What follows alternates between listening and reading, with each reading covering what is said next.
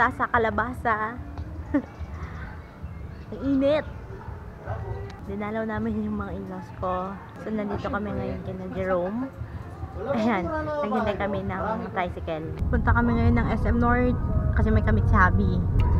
Wala na naman akong energy ngayon kasi 4 a.m. na kami nakarating dito. 11.45 yung biyahe namin from Baguio. Then, 4 o'clock kami nakarating dito sa Manila. Yes, kulang pa sa tulog. Kulang pa sa energy. May energy gap ako ngayon. Pero kahit na, pupunta pa rin tayo sa SM North para mag-stroll and i-meet kung sino man yung kamit ni Habi. Sino kamit natin? Jowa ko. Jowa mo? Ang pangalan niya? Bro, ko kong skisyo ka Tabinski. Nga pala guys, for my book up for today, kailangan heat proof. Siyempre, mainit talaga, mainit dito sa Manila. I just used the Maybelline, yung velvet matte nila na foundation.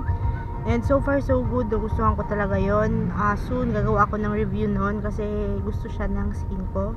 Okay na okay siya para sa oily skin, yun lang ang first impression ko nung una ko siya ginamit. And hindi na ako nag-baking kasi okay naman yung foundation. Um, matte na matte siya sa face ko. Tapos nag eyebrows lang ako, mascara, and then my lipstick is yung yung Pinkies Collection at nakalimutan ko kung ano yung shade nito. Basta yung color nude or yung color brown ng basta may review ako ililink ko na lang yung review ko doon sa ibaba.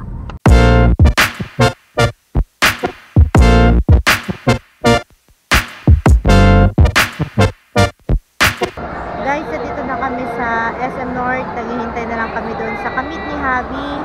And ang daming makeup sa aking harapan.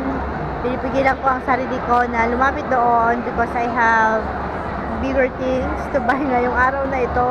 Kaya no makeup muna sabi ni Habi kasi may request ako sa kanya. Kaya no makeup daw muna. So, yes, taste-taste muna, no? Tastingin muna tayo. Pwede sanang mag-shop pero well, sinabi ni boss ko na wag mo ng makeup kasi meron kang bibilhin na mas importante doon kaya wag mo ng makeup kaya sundin natin ang boss natin.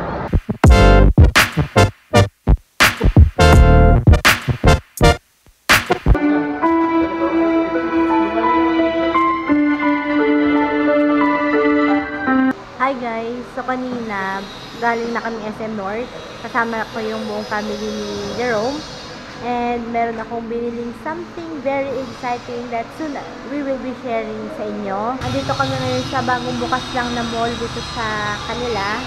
And isi-check namin kung ano yung mga stores dito. So yun. And then bukas, exciting bukas na pupunta tayo ng Victoria.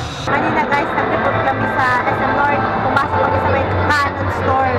In love talaga ako sa E EOSM 5. Ay, grabe, pero ang sakit sa bulsa best. 65,000. Ayan, sinasabi ko nga, 60 65,000 best yung M5, EOS M5, pero super, super upgraded naman na lahat. So kung gusto mo yung good quality na pinaliit daw siya na D80. So, maganda talaga yung features niya. Pero best, wala akong ganung dato.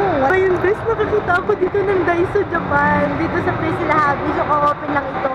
I'm so happy. Nakakita ako ng Daiso Japan. So, pasok tayo. Grabe guys, ang daming mabibili talaga sa Daiso. Tapos, ang mumura nila. Lalo na sa makeup counter nila, grabe. Kung halos kompleto pa lahat. And then nakabili na rin ako sa wakas ng Daiso Beauty Blender. Marami nagsasabi na maganda yung beauty blender ng Daiso kasi expandable siya. So matatry ko na rin sa wakas.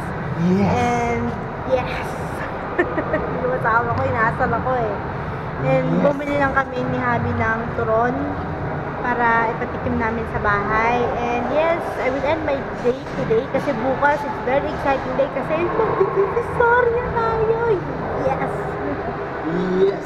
Yes, pupunta kami ni Habi sa Divisoria. Mag-stroll kami doon before kami umuwi ng Monday.